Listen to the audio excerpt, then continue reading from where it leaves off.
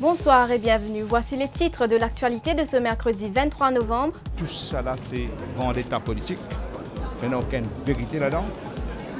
Et ce qui est malheureux là-dedans, c'est que la police, il devient un instrument dans la gouvernement. La liste des charges abandonnées contre l'ancien Premier ministre s'allonge.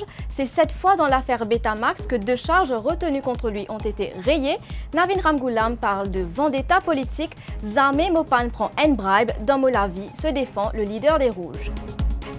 Âgé de 15 ans, Marco Pierre, lui, a succombé à ses blessures aujourd'hui. Son corps sera rapatrié à Rodrigue demain. L'adolescent a été victime d'un accident de la route le 12 novembre dernier. Selon les éléments de l'enquête, il n'était pas au volant de la voiture accidentée. C'est aujourd'hui qu'ont eu lieu les funérailles de la petite Dia Boudou. Après cinq jours passés à l'unité des Grands Brûlés à l'hôpital Candos, la fillette de 7 ans a rendu l'âme hier. Merci de nous avoir suivis et bonne soirée à tous.